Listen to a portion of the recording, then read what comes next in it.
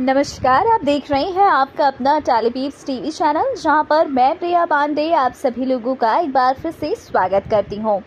चलिए बात कर ली जाए कलर्स टीवी के दी मोस्ट पॉपुलर शो, मिश्री की।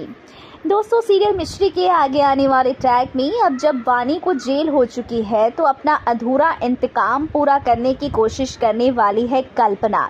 और इस बीच जो कल्पना है, वो वानी को जेल से छुड़ाने के लिए भी काफ़ी मेहनत, मशक्क़त करेगी और वो मिश्री और राघव साथी पूरे परिवार को काफ़ी ज़्यादा धमकियाँ भी देंगे। जहाँ पर मिश्री ना उन्हें ललकारती नज़र आएगी और कहती नज़र आएगी कि आपकी बेटी ने जो गलतियाँ की है, उसे उसकी की की सज़ा मिल रही है। और इसमें किसी का कोई दोष नहीं है। अगर कोई दोषी है तो वो वानी दी वानी जी हैं और आपने उनका हर इस, हर एक षड्यंत्र में उनका साथ दिया है। इसलिए गलत आप हैं, ना कि ये पूरा परिवार। तभी यहाँ पर पार्वती बीच में आएगी और कहेगी कि, कल्पना, हमने तुम्हें पहले भी कहा था और हम तुम्हें आज भी कह रहे हैं कि मिश्री ही इस घर की बहू है और वही इस घर की बहू रहेगी और वानी जो है, उसने गलती की है उसे उसी चीज़ की सज़ा मिल रही है और मिलेगी भी।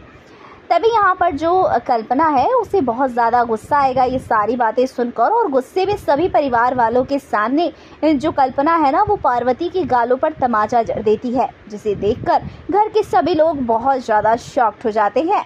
और तभी कल्पना जो है, वो पार्वती से कहती है, तुम तो चुप ही रहो, ये सब तुम्हारी वजह से ही हो रहा है। अगर तुमने सालों पहले मेरे साथ वो सब ना किया रहता ना तो आज मेरी बेटी तुम लोगों से इस चीज़ का बदला नहीं ले रही होती।